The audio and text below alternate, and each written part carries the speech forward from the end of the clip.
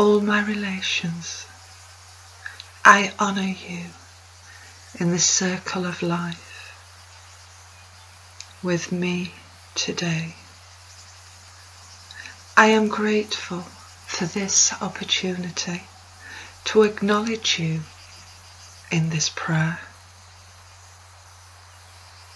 To the Creator for the ultimate gift of life, I thank you.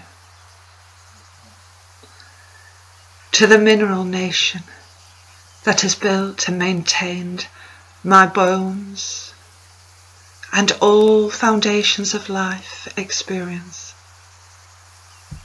I thank you.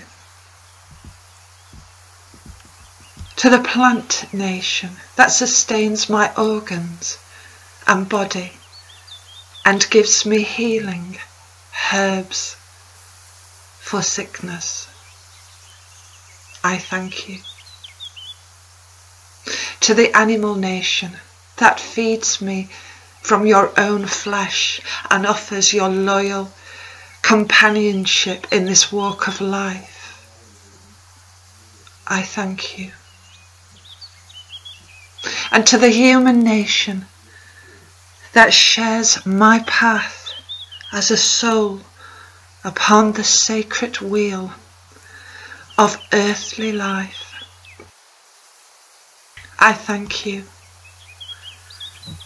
to the spirit nation that guides me invisibly through the ups and downs of life and for carrying the torch of light through the ages. I thank you. To the four winds of change and growth, I thank you. You are all my relations, my relatives, without whom I would not live. We are in the circle of life together, coexisting, codependent, co-creating our destiny. One not more important than the other.